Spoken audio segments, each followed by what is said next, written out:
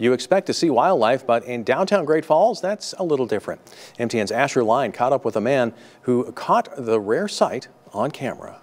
The Trailside Dog Park here in Great Falls doesn't normally get animals too big, but last night it got a surprise appearance from a predator that doesn't make appearances in town very often. Matt Winkle lives in Great Falls and was on his way home last night when he saw something he'd never seen before.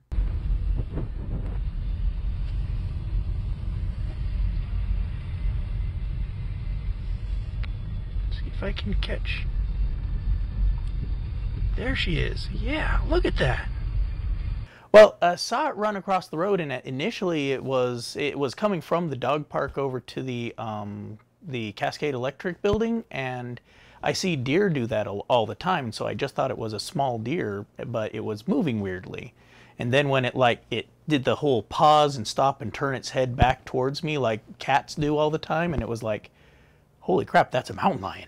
Fish, Wildlife, and Parks say it's uncommon to see mountain lions in city limits, but they also say it's not unheard of. Generally, in regards to mountain lion distribution, is if there's deer in the area, pretty much anywhere in Montana, it would not be unheard of to have a mountain lion.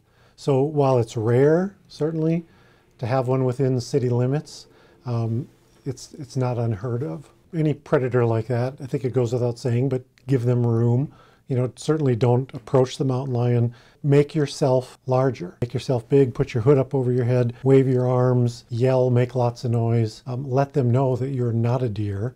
If you're in a vehicle, stay in a vehicle. Blow the horn.